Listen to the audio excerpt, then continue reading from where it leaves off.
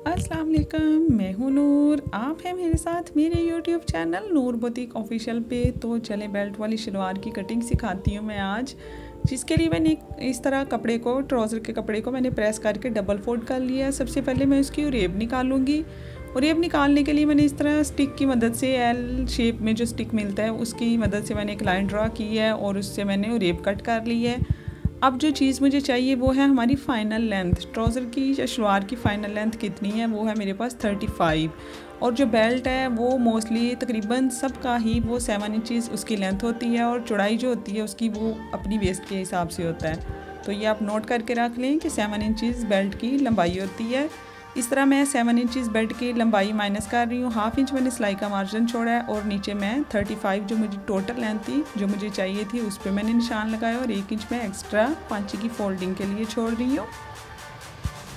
अब मुझे पाँचे के लिए निशान लगाना है तो पाँचा मुझे चाहिए सेवन एंड हाफ़ तो मैं एक इंच एक्स्ट्रा लूँगी एट एंड हाफ़ लूँगी तो मैं इस तरह यहाँ भी एक लाइन लगाऊँगी। अब मुझे आसन की लंबाई देखनी है, आसन मुझे कितनी चाहिए, ये मुझे चाहिए फिफ्टीन आप देखें कि मुझे यहाँ भी माइनस करना है बेल्ट की लंबाई को तो मैं बेल्ट की लंबाई को माइनस करके 15 एंड हाफ़ हाफ़ इंच सिलाई का मार्जिन छोड़ के लगा रही हूँ निशान।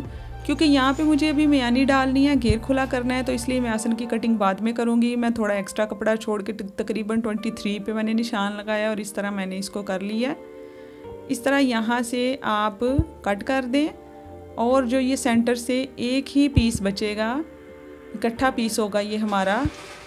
तो यहाँ पे आप इसको इसके साथ मिला के रखें, सिलाई का मार्जिन ऊपर चढ़ा के रखें।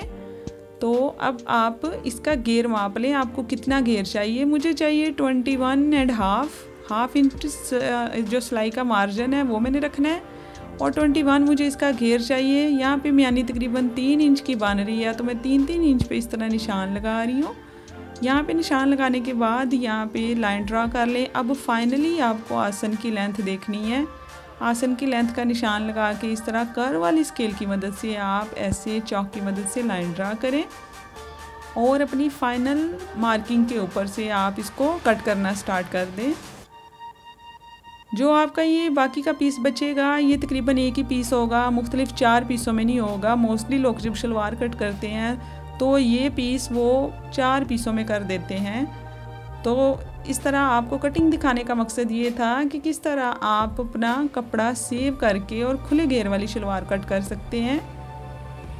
वेस्ट मुझे जो चाहिए बेल्ट की वो है मेरे पास 23 और मैं हाफ़ इंच एक्स्ट्रा ले रही हूँ, यानी कि 24 में ले रही हूँ। दोनों साइडों से हाफ़ हाफ़ इंच का सिलाई का मार्जिन होगा तो 23 रह जाएगा। जो बेल्ट की लंबाई है वो मेरे पास है साढ़े नौ। साढ़े नौ में किस तरह रख रही हूँ? मुझे चाहिए सेवन इंचज़ का बेल्ट तैयार। तो दो इंच जो है वो हमारा लास्टिक का मार्जिन होता है और हाफ़ इंच जो है वो नीचे सिलाई का मार्जिन है।